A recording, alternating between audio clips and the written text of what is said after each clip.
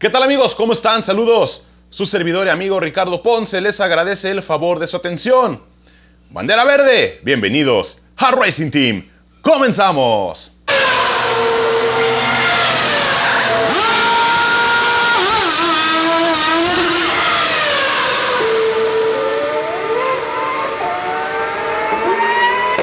Pues bien, estamos platicando en este video del Gran Premio de Turquía de la previa todo lo que conlleva a este gran premio que ya huele, huele a, combustible, ya al rugir de los motores. Ya estamos, ya estamos cerca. Como también de la telenovela. Así, señores, sigue la telenovela de Sergio Pérez. Estamos platicando del piloto mexicano, el último que acaba de decir en conferencia de prensa. Y en mi punto de vista, algunos comentarios que a lo mejor no se han dicho, pero vaya, vamos a tratar de, de comentar esta, esta situación para que se quede a ver todo el video. Pues bien, señores, vamos a meternos de lleno al Gran Premio de Turquía. Un Gran Premio que ya casi 10 años que la Fórmula 1 no pisa este, este circuito, el Istanbul Park. Va a ser bastante interesante. Yo en lo personal tengo muchas, muchas ganas de ver esta carrera. Eh, porque hay pilotos jóvenes que no conocen el circuito y ya los más veteranos, pues si se han estado ahí, a lo mejor pueden llevar un poco de ventaja. En palabras de Pierre Gasly, él comenta que ni en simulador conoce este circuito yo creo que ya lo conoce, pues, pero bueno, lo comentó Pierre Gasly. Entonces, pues, tenemos ahí a George Russell, a Lance Stroll, tenemos a, Charles Leclerc, vaya, a Nicolás Latifi, muchos que no conocen este circuito, ¿no? Podemos comentar varios. Otra parte muy, muy importante a seguir va a ser los neumáticos.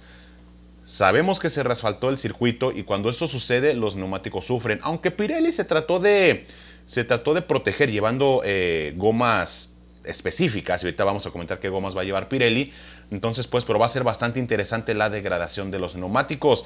En este momento entran a ciegas, puesto que pues hace un rato que no corren, pero sí se espera que haya una degradación fuerte. Y entonces ahí los pilotos que más cuidan las gomas es cuando pueden eh, sobresalir en esta carrera.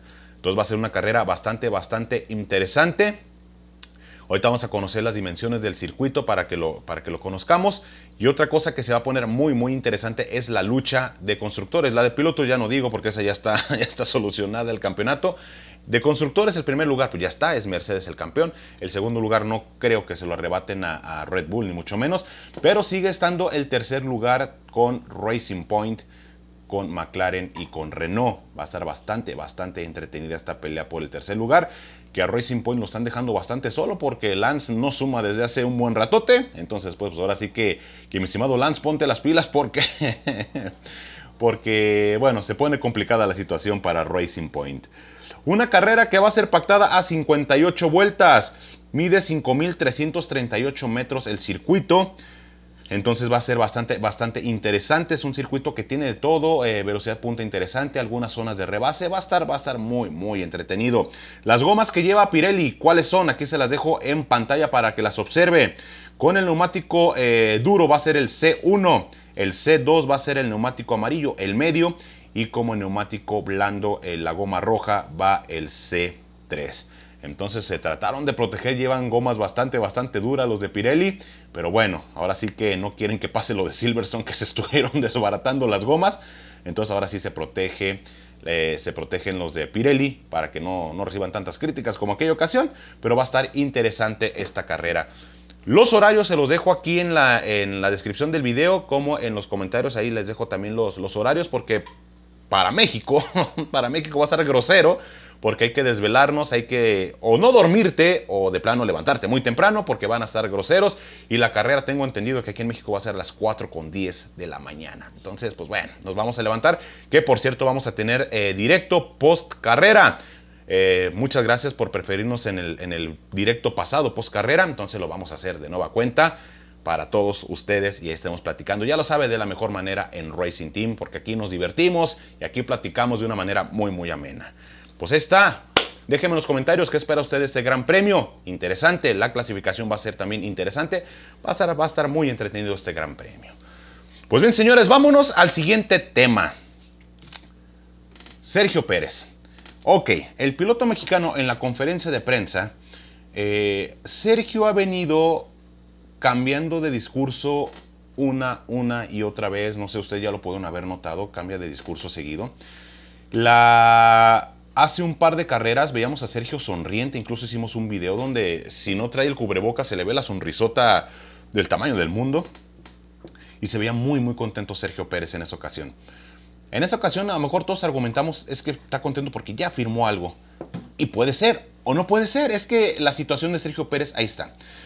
Sergio Pérez en la conferencia de prensa de hoy, ¿qué comenta? Y ahorita vamos a analizarlo. Él comenta lo siguiente. Todo se está dando muy tarde en estos momentos y el saber si seguiré en Fórmula 1 será así. Creo que un año sabático es una opción. Veremos qué sucede en las próximas semanas.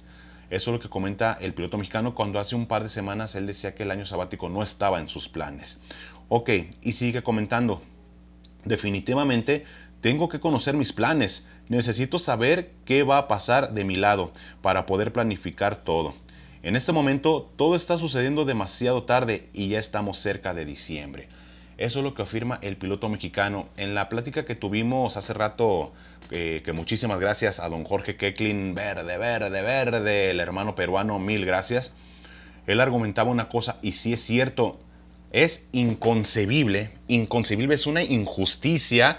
Yo no recuerdo bien la palabra que utilizó, pero en verdad es inconcebible que el piloto más eh, consistente junto con Luis Hamilton, que ha puntuado en todas las carreras, vaya a quedar sin asiento en la próxima eh, temporada. En verdad es inconcebible, yo no lo veo, en verdad yo no lo veo. Pero bueno, vamos a analizar esto. Ahora Sergio Pérez está argumentando que tomarse un año sabático. Repito, antes no lo había mencionado esto el piloto mexicano. ¿A qué quiero llegar con esto? Ok, también argumenta una parte en la misma, en la misma conferencia, en la misma entrevista, argumenta una cosa muy, muy interesante. Todos los equipos sin asiento, sin confirmar sus pilotos, son una posibilidad. Obviamente, ¿quién falta? Falta Mercedes, que sabemos que Luis Hamilton va a terminar, yo creo que firmando. Alfa Tauri, eh, pero yo me voy más por Haas. ¿En qué aspecto? Todos sabemos que la Fórmula 1 es un negocio, y claro que es un negocio la Fórmula 1. Obviamente, para los patrocinadores de Sergio Pérez, eh, ya sabemos la telefonía, la refresquera, todos, todos los patrocinadores de Sergio Pérez, obviamente que ellos prefieren tener su marca en Red Bull, obvio, y si yo fuera el dueño de una empresa, pues claro que quiero que mi marca esté en el, vehículo de Red Bull, en, en, la ropa, en todo. Pero repito, porque esto es un negocio, el Gran Premio de México se firmó por tres años, ¿sí? Exactamente, o coincidencia, como ustedes quieran verlo, los tres años que había firmado Sergio Pérez con Aston Martin, ¿sí? Entonces ahí el Gran Premio de México se quiso proteger, ok, más allá no vamos porque no sabemos si vamos a tener piloto mexicano, entonces pues vámonos con calma, firmamos tres años, que son los que tiene Sergio Pérez de contrato, ¿no? Entonces, pues, ¿qué pasa con esto? También los, los, los, eh, patrocinadores hacen contratos con Sergio Pérez a lo mejor a, largo plazo, me quiero, quiero suponer eso, o sea, no creo que vayan firmando año por año. Y al saber ellos, al inicio de temporada, que iba a estar tres años en Aston Martin, y que se amplió el Gran Premio de México por tres años, entonces ellos también se protegieron y ok, vamos a firmar por tres años. Quiero, ojo, mi punto de vista, quiero suponer que es esa situación, porque ellos no creo que firmen por año, protegiéndose que, va, que vamos a tener un piloto mexicano durante tres años y en un equipo top, como se dice llamar a Son Martin o como pretenden ellos hacerlo, ¿no? ¿A qué voy con esto?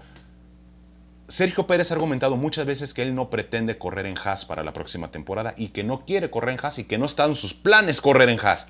De hecho, lo dijo en una entrevista, ¿vas a correr en Haas la próxima temporada? Y él dijo que no. Una cosa, y yo me pongo a pensar en esa situación, una cosa es lo que quiere Sergio Pérez. Obviamente Sergio Pérez, como todos, todos deseamos verlo en Red Bull, porque es un, es un equipo ganador, un equipo que lleva, eh, que es el que sigue de, de Mercedes, un equipo que vaya obtendría su, primer victoria sin ningún problema, Sergio Pérez, pero todos queremos verlo en Red Bull. Pero eso es lo que él quiere. ¿Qué quieren los patrocinadores? Obvio, los patrocinadores, repito, quieren estar en Red Bull. Pero entonces aquí puede existir alguna presión de, ¿sabes qué, mi estimado Sergio? Tenemos contrato.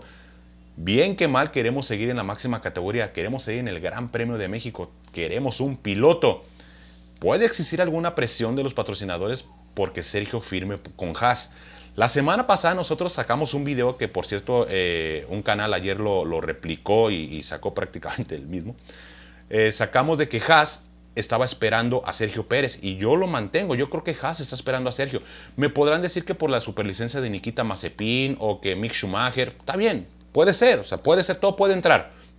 pero que a la altura no le hayan confirmado, yo me pongo una pregunta, si Nikita Mazepin otorga los 16 millones o 20, 30, 50, no sé, que también pone Sergio Pérez, tú como Haas, como, como Jim Haas y como Hunter Steiner, ¿a quién quieres? ¿A Nikita Mazepin o a Sergio Pérez? Obviamente ellos saben que Sergio también aporta mucho, mucho patrocinador. ¿Y por qué no? Haas hasta podría, si Nikita Mazepin aporta 2 millones más que Sergio Pérez, igual ellos pueden eh, sacrificar esos 2 millones, por poner un ejemplo, y mejor llevar a Sergio Pérez que les va a dar más, más rendimiento. Entonces, pues aquí viene esa teoría. ¿Qué tanto los patrocinadores pueden estar, eh, tienen que estar contentos, vaya, de que pueda seguir en Fórmula 1 y por ahí meter alguna presión? para que pueda correr en Haas la próxima temporada. Repito, no es lo que quiere Sergio. Claro que no, Sergio no quiere correr en Haas. Quiere correr en Red Bull y es lo que todos los mexicanos queremos. Pero hay que ver hasta dónde los patrocinadores quieren mantenerse en la Fórmula 1 y tener el Gran Premio ahí como, eh, vaya, mostrar sus marcas en el Gran Premio. Entonces la situación está complicada.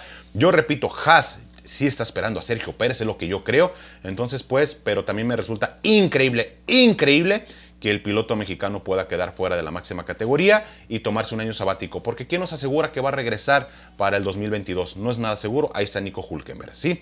Entonces, pues, la próxima temporada puede ser una temporada complicada para Sergio, sin pasar a la Q2. Muchos decimos, no, es que para qué queremos a Sergio Pérez dar y dar y dar vueltas. No, pero repito, para el 2022 cambian las reglas. No creo que Sergio se quiera perder esa oportunidad. Y repito, los patrocinadores juegan un papel muy, muy importante.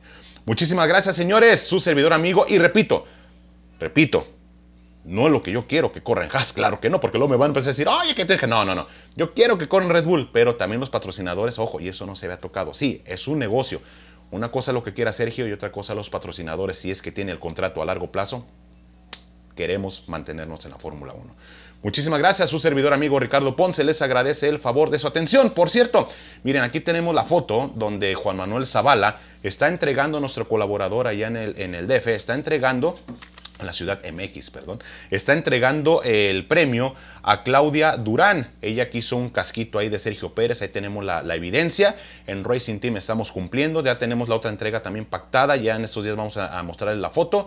Van a venir más sorpresas en Racing Team, más regalos para que esté, para que esté al pendiente. Muchísimas, muchísimas gracias. Y con esto llegamos a la bandera de cuadros. Suscríbase, váyase al Facebook, al Twitter, F1 Racing Team en Facebook. Y en el Twitter, aquí vienen todos los links para que se vaya de manera directa. Muchísimas gracias. Hasta la próxima.